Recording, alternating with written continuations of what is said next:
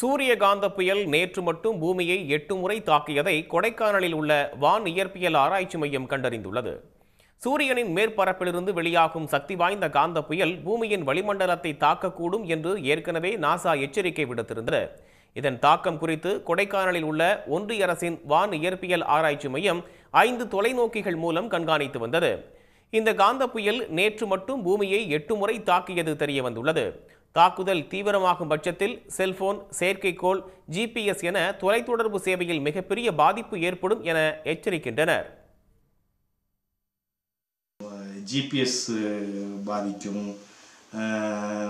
நம்ம radio communication பாதிக்கும். Power grid பாதிக்கிறதுக்கான வாய்ப்புகள் இருக்குது சேட்டலைட்டு ஸ்பேஸ் கிராஃப்ட்லாம் பாதிக்கப்படும். அதாவது சூரிய புள்ளி வந்து நிறைய அந்த மின்காந்த கதிர்வீச்சு கொடுத்துக்கிட்டே இருக்குது.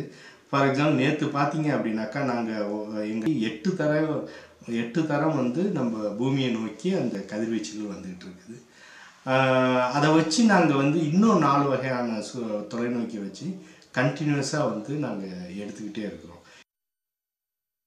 கூடுதலாக நான்கு தொலைநோக்கிகளை கொண்டு தொடர்ந்து வானியல் மாற்றங்களை கண்காணித்து வருகின்றனர். பதினோரு ஆண்டுகளுக்கு ஒருமுறை சூரிய காந்த புயல் பூமியை தாக்கும் என கூறும் விஞ்ஞானிகள் கடந்த இரண்டாயிரத்தி மூன்றாம் ஆண்டு இதே போன்ற பாதிப்பு ஏற்பட்டதாக தெரிவிக்கின்றனர். உடனுக்குடன் செய்திகளை தெரிந்து கொள்ள சன் நியூஸ் பெல் கிளிக் பண்ணுங்க.